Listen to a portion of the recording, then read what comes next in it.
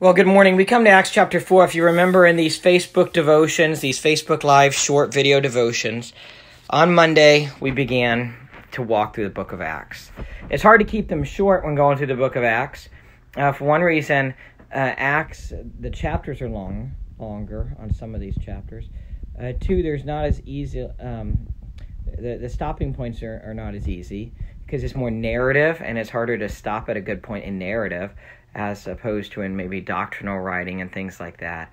We're going to try to do Acts chapter 4 today. Remember, Acts is written by uh, Dr. Luke, Luke the beloved physician. Luke, who we know by his vocabulary, wrote in a little bit more scholarly uh, way, more specific terminology and things like that. It's called the Acts of the Apostles or the Acts of the Holy Spirit. And yesterday, we saw Peter and John preach the gospel after, after healing a blind beggar. And here we come to Acts chapter 4, and Peter and John are arrested. Let me begin reading with a few comments in between.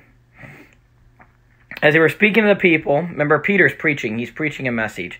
As they were speaking to the people, the priest and the captain of the temple guard and the Sadducees came up to them. So these are religious leaders, religious authorities, they came up to them being greatly disturbed because they were teaching the people and proclaiming in Jesus the resurrection of the dead. The leaders were disturbed because Peter and John were proclaiming the resurrection. The Sadducees did not believe in the resurrection. That's one difference between them and the Pharisees, which were two of the three or four religious groups in Israel during the time. So Sadducees didn't even believe in the resurrection. They were not happy about this. Verse 3 it says, and they, which is the Sadducees and these, these leaders, and they laid hands on them and put them in jail until the next day, for it was already evening. So it's evening, they put them in jail. But many of those who had heard the message believed, and the number of the men came to about 5,000. 5,000 believed. Now, just in the in Acts chapter 2, it was like 3,000 believed. Now, that's about, it says about 3,000. So could have been more. Oftentimes, they didn't count women and children. Here's 5,000. This church is growing, and it is growing fast. And the next day, the rulers and elders and scribes were gathered together in Jerusalem. So now you got the rulers, the elders, the scribes. The scribes were the people who copied the manuscripts, and it's a very authoritative leadership position during that day. They gathered together in verse 6. And Annas, the high priest, was there, and Caiaphas, and John, and Alexander, and all who were of high priestly descent. Notice Luke gives great detail. This is one of the proofs of this as a historical document because he's placing names in this document in the book of Acts. When they had placed him in the center, they began to inquire, By what power or in what name have you done this? Now they're putting James and John, I mean Peter and John, right there in the center, interrogating, interrogating them. Then Peter, filled with the Holy Spirit, notice how it says that he's filled with the Holy Spirit. Um, in the Gospels, Jesus said, Don't worry when you're called before the rulers and authorities. Don't worry about what you're going to say, for Jesus said that he will speak through them. He speaks through the Holy Spirit. So Peter, filled with the Holy Spirit, said to them, Rulers and elders of the people, if we are on trial today for a benefit done to a sick man, as to how this man has been made well, let it be known to all of you and to all the people of Israel that by the name of Jesus Christ the Nazarene, whom you crucified, whom God raised from the dead, by this name this man stands here before you in good health.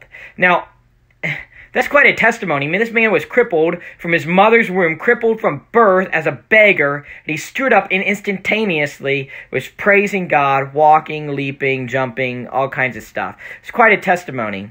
So Peter's kind of saying, if that's why you have me here, it's because of Jesus. Verse 11 about Jesus, Peter says, He is a stone which was rejected by you, the builders, but which became the chief cornerstone. Now that's an Old Testament quote from Psalm 118.22. Psalm 118.22. That's a quote from there. Um, it's used again in Mark 9.22. Is that? No, Mark 9.12 as well. But he's saying the stone which was rejected by you, which would be Jesus, became the chief cornerstone. The cornerstone is very important in that day in building. And there is salvation, Peter continues, and there is salvation in no one else. For there's no other name under heaven that has been given among men by which we must be saved. You can only be saved by Jesus. Verse 13. Now, as they observed the confidence of Peter and John and understood that they were uneducated and untrained men, they were amazed and began to recognize them as having been with Jesus. Here's Peter and John, uneducated, untrained men. They had great confidence. They're just amazed by them. Verse 14. And seeing the man and, and seeing the man who had been healed standing with them, they had nothing to say in reply. I mean, how do you argue with this? This man, everybody knew he was always lame. He's been healed. What do you do? How do you respond? Verse 15. But when they had ordered them to leave the council, they began to confer with one another. So they have Peter and John leave the council and they start to, to meet without them. Verse 16, saying, What shall we do with these men? For the fact that a noteworthy miracle has taken place through them is apparent to all who live in Jerusalem. We cannot deny it. They cannot deny the miracle. Verse 17, but so that it will not spread any further among the people, let us warn them to speak no longer to any man in this name. Okay, so they're going to warn them. Verse 18, and when they had summoned them, they commanded them not to speak or teach at all in the name of Jesus. No more.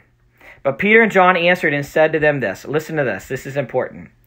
Whether it is right in the sight of God to give heed to you rather than to God, you be the judge. For we cannot stop speaking about what we have seen and heard. They're saying we cannot speak and cannot keep giving testimony about what they have seen and heard with Jesus.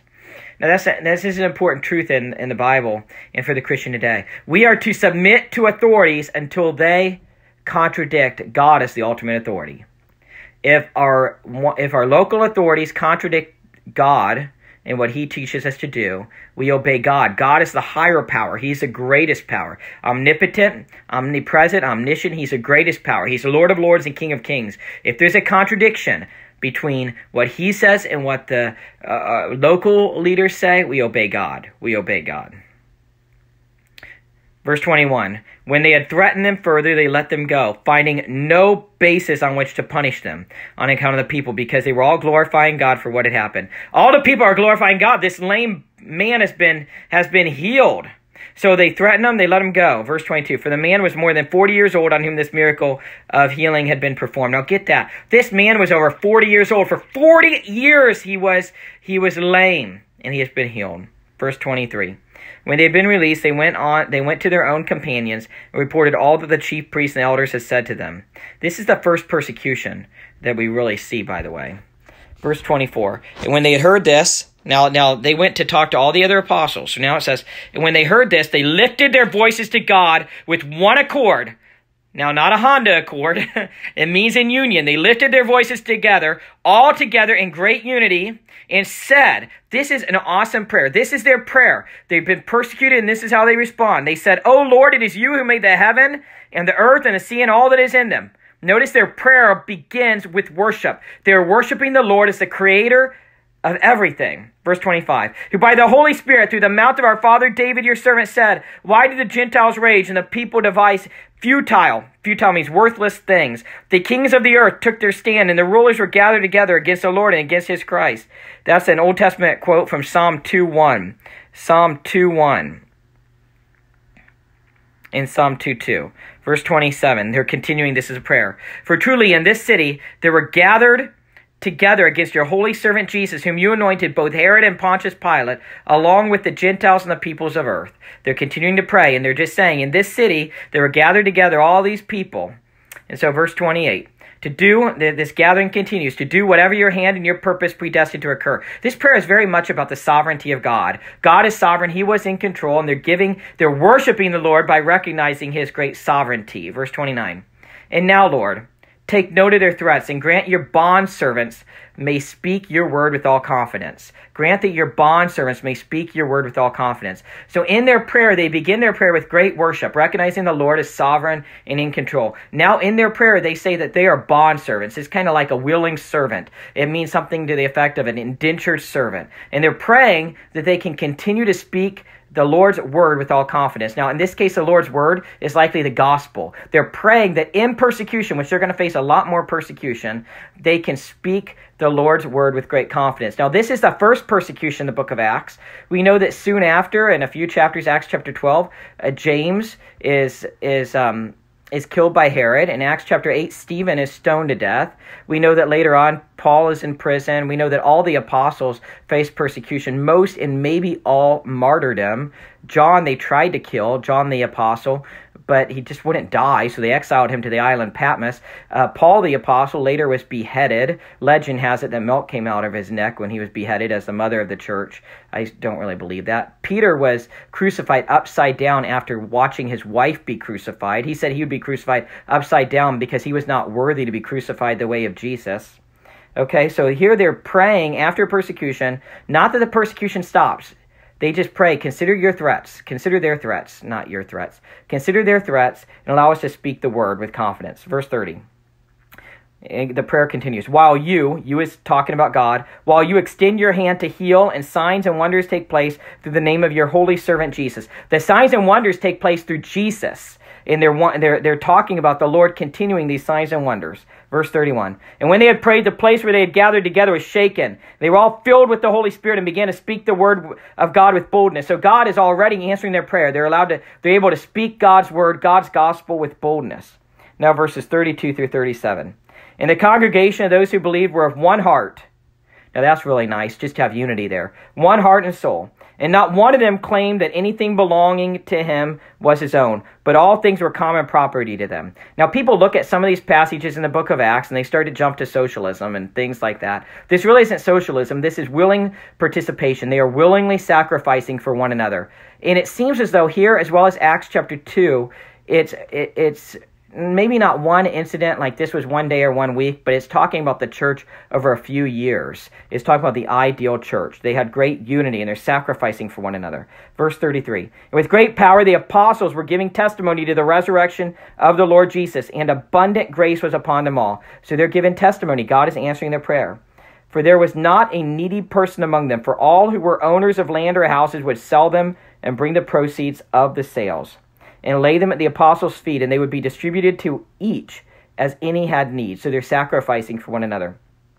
Now Joseph, a Levite of Cyprian birth, who was also called Barnabas by the apostles, which translated means son of encouragement, and who owned a tract of land, sold it and brought the money and laid it at the apostles' feet. Now, this is introducing Barnabas. We're going to see a lot more about Barnabas in, in, in this book of Acts. Later on, Barnabas goes on the first missionary journey with the apostle Paul. Him and um, Paul have a dispute over John Mark later on, yet they do reconcile. But we're going to see much more about Barnabas. So that's Acts chapter 4 today. We'll begin Acts chapter 5 probably in a week and a half. I'm on vacation next week and uh, going to Disney World with the family, so that's a little going to be a little complicated to do some of these. So have a great night, a great day in the Lord. God bless.